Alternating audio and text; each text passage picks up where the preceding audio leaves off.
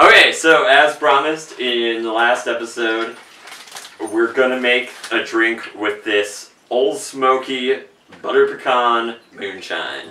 And all it's gonna be is this, but not with regular coffee. We're mixing it up with some cold brew, baby! Winter Toast by La Colombe. La Colombe? La Colombe. It's got a dove. That's all you need to know. According to this, there's 240 milligrams of natural caffeine per serving. That's kind of a lot for coffee, I think. Pretty sure that's a lot for coffee. But that's cold brew. That's cold brew for you, you know?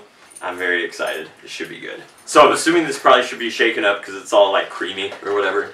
So just start shake that up. I think this is going to be really hard to pour into a jigger, so I'm just going to do fingers. Five fingers and a dash of cold brew. nah, it'll be Half and half. Probably like two. Yeah, maybe half and half, like two to two, and then ice. Yeah, yeah. And then this stuff, pour it just up to those little other ridges.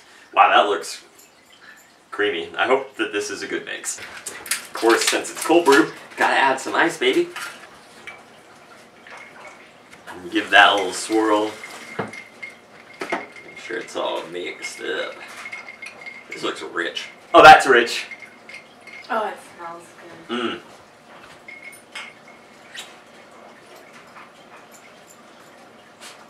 Uh huh. Mhm.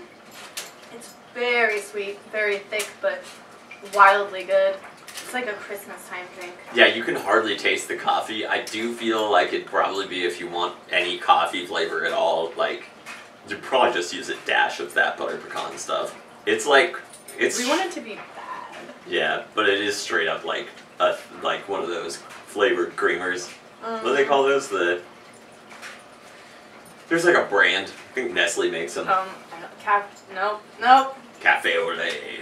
I don't know what it is. Anyway, try this. It's good. Uh, I would recommend More less coffee. of the butter pecan. It's still really thick at half and half, uh, but it is tasty. If you want something super sweet, more butter pecan, more coffee, less. Super simple.